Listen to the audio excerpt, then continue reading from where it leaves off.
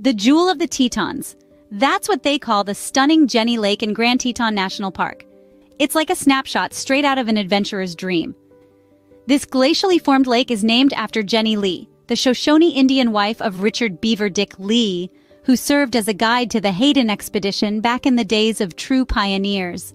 It's not just a body of water, it's a living piece of history and a testament to the natural wonders of this world.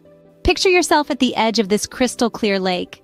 You don't need fancy words to describe it because believe me, its beauty speaks for itself. It's pure and authentic. The reflection of the mountains in the water makes it clear that the lake knows it's the heart of the park. It's where people fish, where children learn to skip stones, and where stories bounce off the peaks. Jenny Lake isn't just a location on a map. It's the main character in every story that happens here. What's amazing about Jenny Lake isn't just its looks. It's a starting point for some of the best hikes around. It's got campgrounds where families laugh around fires, and it's got that clear, deep blue that artists try to catch on their canvases, but find out it's kind of like trying to hold the sky in your hands. Impossible to grasp the full beauty. Jenny Lake isn't just a destination, it's a protector of the wilderness. With waters that have mirrored the Tetons for centuries, it stands as a silent guardian, holding secrets and opening the door to the wild.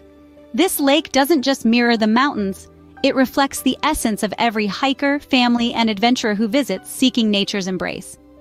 Jenny Lake, with its calm surface and clear depths, is the unspoken hero in every explorer's tale, providing a canvas to intimately experience and forever cherish the grandeur of the Tetons.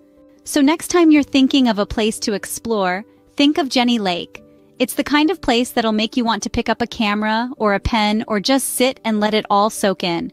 It's not just a jewel by name, it's a sparkling gem in our memories too. And if you do take pictures, remember, it's not about capturing the perfect shot, it's about letting the lake tell its story through you.